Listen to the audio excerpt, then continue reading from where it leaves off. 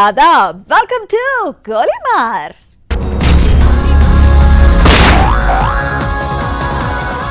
అయోధ్య ఇష్యూపై మరోసారి క్లారిటీ ఇచ్చింది సుప్రీంకోర్టు రివ్యూ పిటిషన్లన్నింటినీ డిస్మిస్ చేసింది.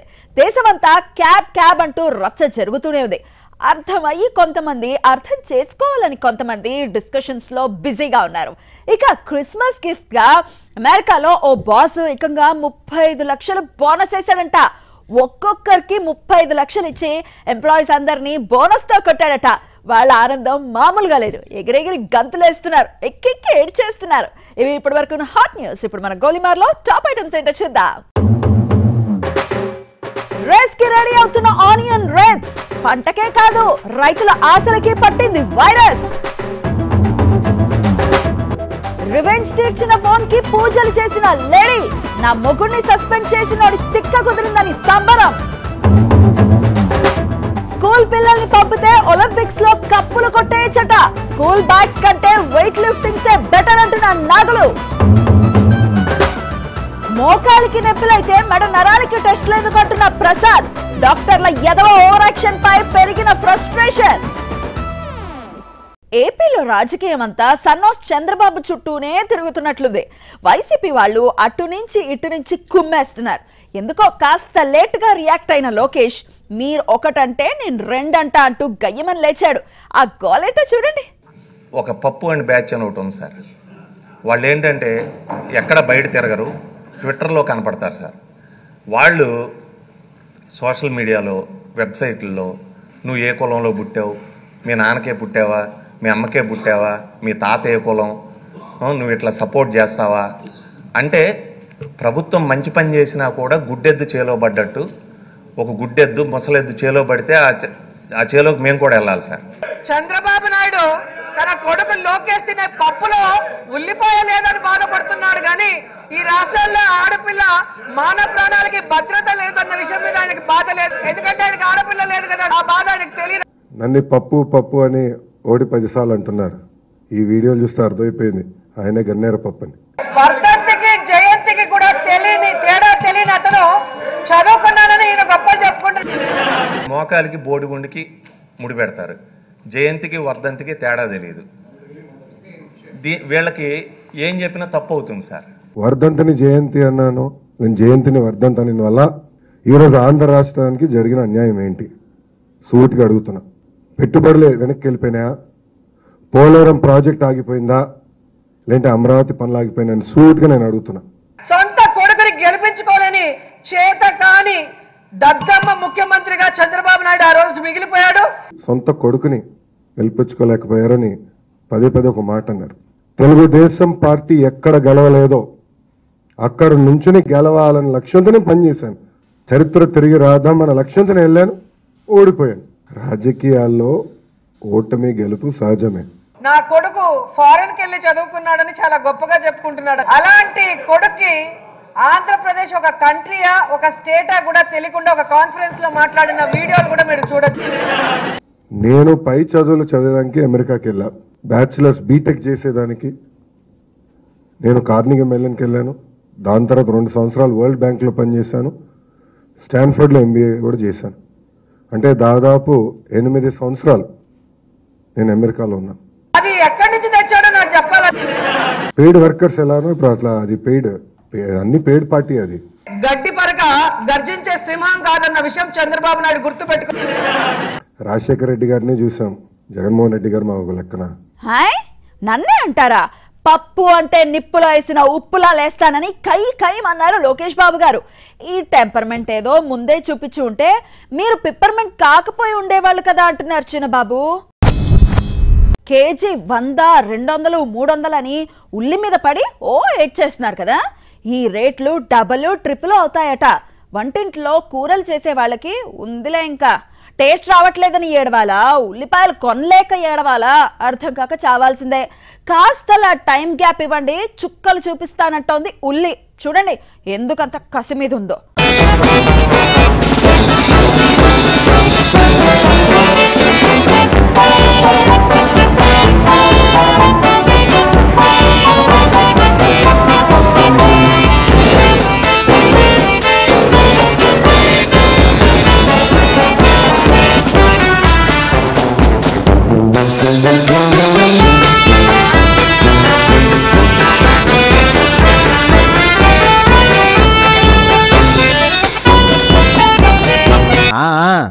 ముందుంది మొసళ్ళ పండగ. ఇప్పుడే కింద మీద పడుతున్నారు. పానిపట్టు యుద్ధాలు జరిగినట్టు ఉల్లిపట్టు యుద్ధాలు జరుగుతున్నాయి. ఇక ముందు ముందు రేసింగ్కి వెళ్తానంటుంది. ఉల్లి రైతులకి ఏం కలిసి వచ్చిందిరా నాయన? పండగ చేసుకుంటున్నారు అని మనమంతా ఏడి సస్తా ఉంటే వాళ్ళేమో ఏడరా నాయన మా సావు మేము చేస్తున్నాం అంటున్నారు. దేశం మొత్తం ఏడ ఉల్లి పంట వేసినా ఎవరికి అర్థం కాని తెగులేదో వచ్చి గద్దలా పడుతుందంట. నార్త్ నుంచి మన గుంటూరు దాకా రైతులంతా గుండెలు బాదుకుంటున్నారు.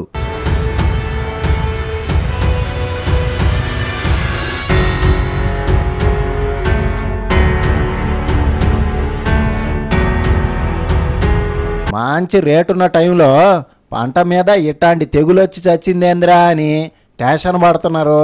ఏదో ఆన్లైన్లో గోవా ఫ్లైట్ టికెట్లు కావాలా కేజీ ఉల్లిపాయలు కావాలా అని కాంటెస్ట్ పెడితే తొంభై తొమ్మిది శాతం మంది ఉల్లిపాయలే కావాలని బల్ల గుద్ది చెప్పారంట. ఎట్టా తగలబడింది వ్యవహారం? ఉల్లిపాయలు దొరక్క దొంగతనాలు చేసేదాకా వస్తే ఇటేమో పంట మీద రోగాలు వచ్చి పడుతున్నాయి. చూస్తుంటే నెక్స్ట్ పంట వచ్చేదాకా ఈ ఉల్లిలొల్లి ఆగేటట్లేదు.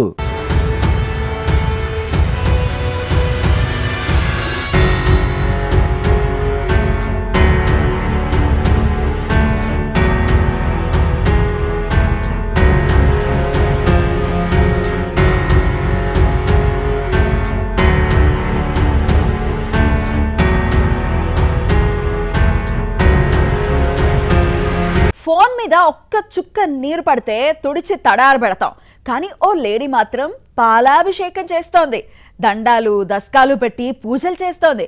ఏమన్నంటే మేము తీర్చుకోలేని పగని ఫోన్ తీర్చింది అని మొక్కిన మొక్కులన్నీ తీర్చేస్తోంది. అది కూడా కలెక్టరేట్ ముందు. అసలు ఎందుకు అలా ఫోన్కి మొక్కి దేవుణ్ణి చేసి ఇంత డ్రామా నడిపించిందో చూడండి.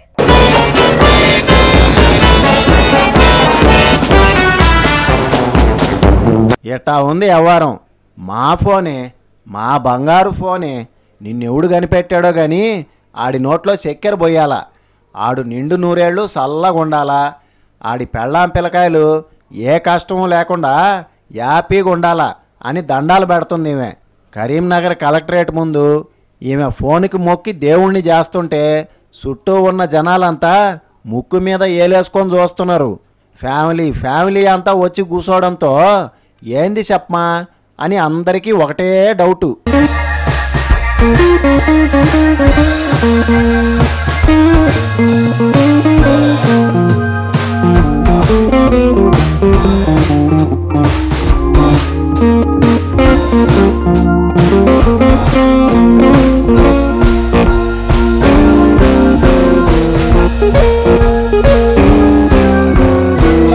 విషయం ఏందయ్యా అంటే టీచర్గా పనిచేస్తున్న ఈవిడ గారి మొగుడిని ఒకానొకప్పుడు జిల్లా ఆఫీసరు ఉత్తి పుణ్యానికే సస్పెండ్ చేసి ఇంక్రిమెంట్లు కూడా కట్ చేశాడంట. ఫోన్ చేసి మాట్లాడితే ఆఫ్టర్ ఆల్ టీచర్వి నాకే ఫోన్ చేస్తావా? అని సస్పెండ్ చేశాడంట. అప్పుడు సస్పెండ్ చేసిన అధికారే ఇప్పుడు ఏరే టీచర్ని తిట్టి ట్రాన్స్ఫర్ అయ్యాడంట. టీచర్ని తిట్టింది ఫోన్లో రికార్డు కావడం వల్లే ఆయన సస్పెండ్ అయ్యాడని ఏమో సంబరాలు జరుపుకుంటుంది. ఫోన్లో రికార్డు కావడం వల్లే తిట్టి ట్రాన్స్ఫర్ చేశారని ఇటా పాలాభిషేకాలు చేసి దండలేసి దండాలు పెడుతుంది.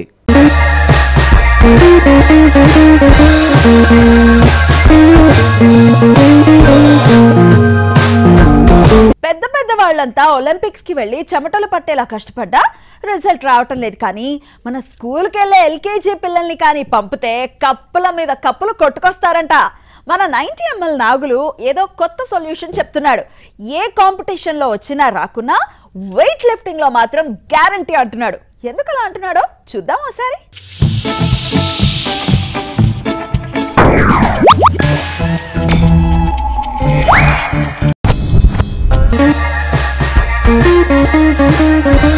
పోరాదే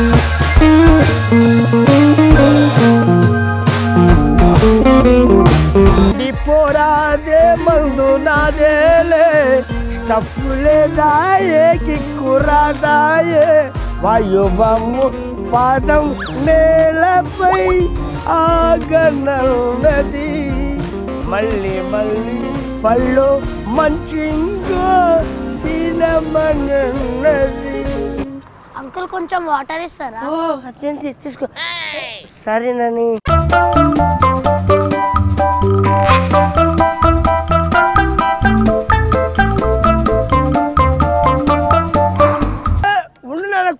కూర్చో తమ్ముడు నేను చూస్తుంటే నాకు ముచ్చటేస్తుందిరా.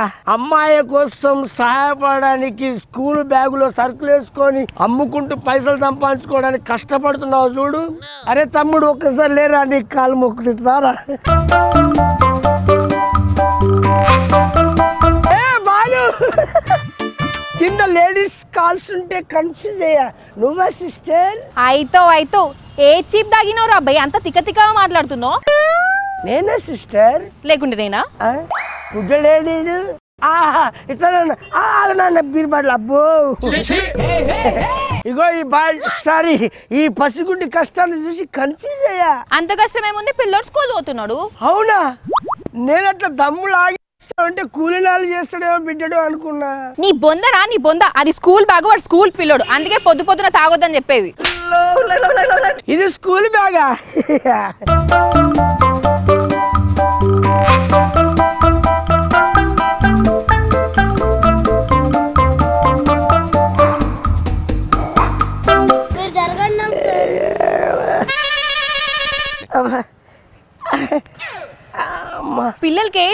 అక్కర్లేదు. డైరెక్ట్ ఒలింపిక్స్ కే పంపించవచ్చు అయినా స్కూల్ పిల్లలకి ఇన్ని బరువులా? ఈ అన్ని బుక్స్ తెలియదు అంకుల్ కొన్ని బుక్స్ తెచ్చా. ఇంతున్నాయా? వామ్మో ఇన్ని ఏం చదువుతారా నాన్న బుర్ర బేజర్ ఫ్రై అవుతాయి. చదువు షాడు దోషాడు పలపాలన్నట్టు. అయినా సర్కార్ వాళ్ళు స్కూల్ పిల్లల బ్యాగ్లు ఇంతే బరువు ఉండాలని రూల్ పెట్టిరు కదా. ఫస్ట్ క్లాస్కి ఒకటిన్నర కిలో ఇట్లా? అంతేకాకుండా స్కూల్ ఫీజుల వివరాలు కూడా గోళ్ళ మీద రాయాలి. అయినా సర్కారుకు భయపడే స్కూల్స్ ఆడునే చెప్పు. మరి పిల్లలు ఈ మూత మొయ్యాల్సిందేనా? వాళ్ళు నీకు ఒక విషయం తెలుసా?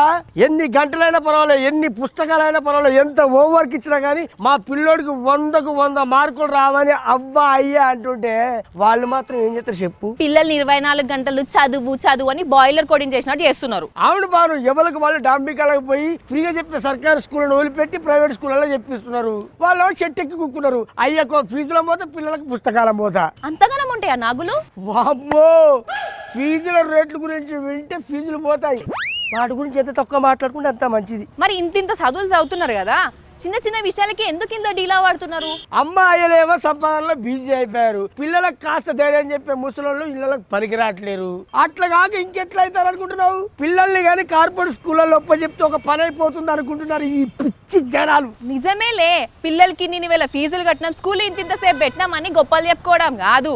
పిల్లలకి ఏదైనా కష్టం వస్తే తట్టుకోగలడా లేదా చూడాల్సిన బాధ్యత అమ్మాయిలదే. పసి పిల్లలండి కొంచెం పట్టించుకోండి. ఆ పదతమ్మి నీ స్కూల్కి లేట్ అవుతుందో నీకు కొద్దిగా స్కూల్ దాకా సాయం పడతప్ప.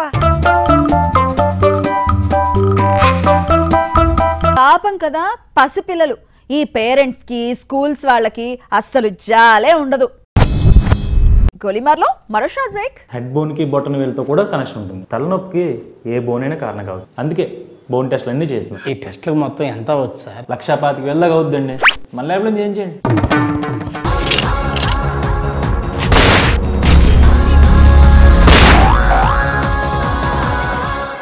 ఉన్న చోట ఉండరు.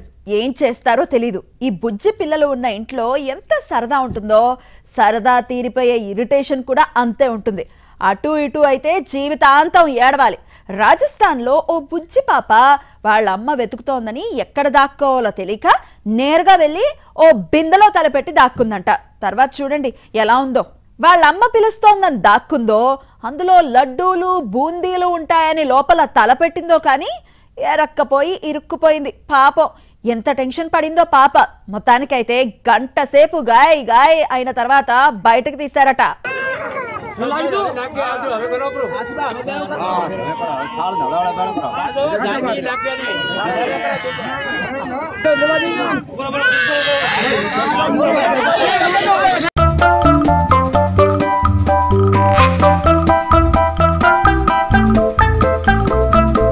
ఆడుకుంటూ ఆడుకుంటూ పిల్లలు వంటింట్లోకి వెళ్తే కాస్త జాగ్రత్తగా ఉండండి లేకపోతే ఇలా టెన్షన్ పడాల్సి వస్తుంది జ్వరం వచ్చిందిరా నాయన అంటే మోకాలికి టెస్ట్ అంటారు. కంట్లో నలుసు పడిందిరా బాబు అంటే బాడీ స్కానింగ్ అంటారు. లక్షలకి లక్షలు ఖర్చు పెట్టుబడిగా పెట్టి చదివితే చాలు. మొత్తం డబుల్ వడ్డీతో ట్రిపుల్ వడ్డీతో వసూలు చేసేయచ్చు. అలాంటి ఓ కమర్షియల్ డాక్టర్ దగ్గరికి మన ప్రసాద్ వెళ్ళాడు. చూడండి తర్వాత కనిపించిన తక్కదిమితో డాన్స్ ఏంటో.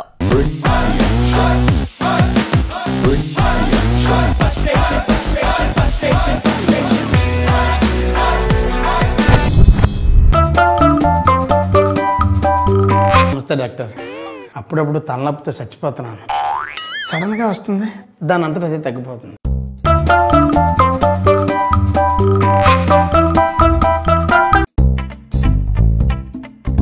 ఏంటి? ఈ చిన్న తలనొప్పికి అన్ని మాటలు రాసేస్తుంటే ఈ టెస్టులన్నీ చేయించురండి. రిజల్ట్ని బట్టి ట్రీట్మెంట్ స్టార్ట్ చేద్దాం. ప్రాబ్లం గురించి ఏం అడగరా? చెప్పారు కదా తలనొప్పి అని ఈ టెస్టులన్నీ చేస్తే వాటి బట్టి ప్రాబ్లం ఏంటి తెలుస్తుంది. తర్వాత ట్రీట్మెంట్ స్టార్ట్ చేస్తారు తలనొప్పికి ఇన్ని టెస్టులు అవసరం అంటారా? డాక్టర్ మీరా నేనా? మీరే. ఎంబీబీఎస్ ఎంఎస్ ఎఫ్ఆర్సిఎస్ మీరు చదివారు నేను చదివాను అంటే నార్మల్ హెడేక్ కదా ఇన్ని టెస్టులు అవసరమా అని? అన్నీ మీరే చెప్పేస్తారా?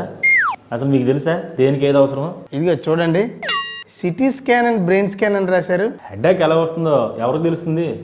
ఒకవేళ బ్రెయిన్లో వాటర్ ఉందేమో న్యూరో ప్రాబ్లం ఉందేమో మెదడు చుట్టూ నరాలు ఉబ్బున్నాయేమో ఎవడో తెలుసు. బ్లడ్ యూరిన్ టెస్ట్ రాశారు. తలనొప్పితో వీటికి లింక్ ఉంటుందా అని. ఈ మధ్య ప్రతి వాడు ఇంటర్నెట్లో చూడడం ఎవడికి వాడు డాక్టర్లో ఫీల్ అయిపోతున్నాడు. అది సార్ ఇప్పుడు అడిగి తెలుసుకోవడంలో తప్పే ఉందండి. ఇప్పుడు మీకు షుగర్ ఉందనుకోండి తలనొప్పి వస్తుంది. బీపీ ఉందనుకోండి తలనొప్పి వస్తుంది. అందుకే ఈ టెస్టులన్నీ. మరి అల్ట్రాసోనిక్ పోనిక్ యాసిడ్ ఎక్స్రే రాశారు? ఏంటది? మీరు నన్ను ఇంటర్గేషన్ చేస్తున్నారా? తెలుసుకుంటున్నాం సార్. మోకాలకి స్కానింగ్ అని రాశారు. థ్రెడ్మిల్ టెస్ట్ అన్నారు. లివర్ టెస్ట్ అన్నారు. అసలు మోకాల స్కానింగ్కి తలనొప్పికి సంబంధం ఏంటి సార్? కొందరు బ్రెయిన్ అక్కడ ఉంటుందని మోకాలు కూడా చేస్తాం. ఊరికే జోక్ చేశానులేండి. అసలు బాడీలో ఎన్ని బోన్స్ ఉంటాయో తెలుసా మీకు? రెండు వందల ఆరు. ఒకదానితో మరొకదానికి కనెక్షన్ ఉంటుంది. హెడ్ బోన్కి బొట్టన వేలుతో కూడా కనెక్షన్ ఉంటుంది. తలనొప్పికి ఏ బోన్ అయినా కారణం కావచ్చు. అందుకే బోన్ టెస్ట్లు అన్నీ చేస్తున్నాం. ఈ టెస్ట్లకు మొత్తం ఎంత అవ్వచ్చు సార్? లక్ష పాతికి వెళ్ళగా అవుద్దండి. మన ల్యాబ్లో చేయించండి వేరే ల్యాబ్లో టెస్టులు చేయించుకోవద్దా డాక్టర్? అక్కడైతే రెండు లక్షలు అవుతాయి. వేరే మార్గం లేదా? మీ ఇష్టం అండి. టెస్ట్లకు అంత ఎందుకు ఇంత ఎందుకు అంటారు? ఆ తర్వాత రోగం ముదిరిపోద్ది. తర్వాత మేమేం చేయలేం. మీరు పోతే మీ బంధువులు మీ ఫ్రెండ్స్ వచ్చి డాక్టర్ని కొడతారు హాస్పిటల్ ధ్వంసం చేస్తారు. అదేంటి అంటే టాగూర్ మూవీలో అలా సమాన పరీక్షలు చేశారు అంటారు. అందుకే ముందే చేయించుకోండి అంటున్నా. ఇప్పుడు చావులు శవాల వరకు ఎందుకులేండి? రిపోర్ట్తో వచ్చి కలుస్తా. ఏంటి సార్? లక్షన్నర టెస్టులు రాశారా? ఏవేవో చెప్పి చెమటలు పట్టించాడయ్యా మీ డాక్టర్. అవన్నీ అవసరం అనుకుంటున్నారా? ఎంత పిచ్చోళ్ళు మీరు? మా సారు చైనా ఎంబీబీఎస్ కట్నం డబ్బులతో ఈ హాస్పిటల్ పెట్టాడు. నిజమా? మరి మాకు వచ్చే డబ్బులన్నీ హాస్పిటల్ మీదే. అయినా మీ పిచ్చి కానీ తలనొప్పి వస్తే ఒక గంట ఎక్కువ పనుకోండి. రెస్ట్ తీసుకోండి యోగా చేయండి. మీ ఆవిడతో ఆర్గ్యుమెంట్ తగ్గించండి. మొబైల్లో మాట్లాడడం మానేయండి. లక్షన్నర పెట్టి టెస్టులు చేస్తారు. ట్రీట్మెంట్కి మళ్ళీ లక్షన్నర అవసరమా? ఒక ఐదు వందలు ఇవ్వండి సార్. ఎందుకు? ఒక ఐదు వందలు ఇవ్వండి చెప్తా.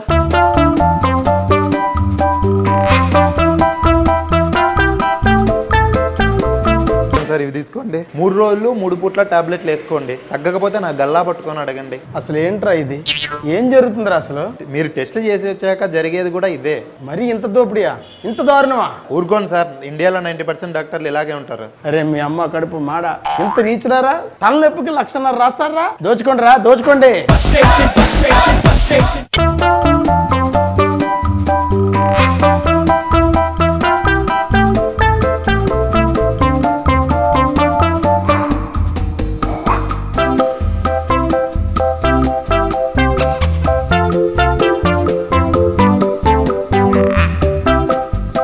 టెస్టులు చూడండి సార్.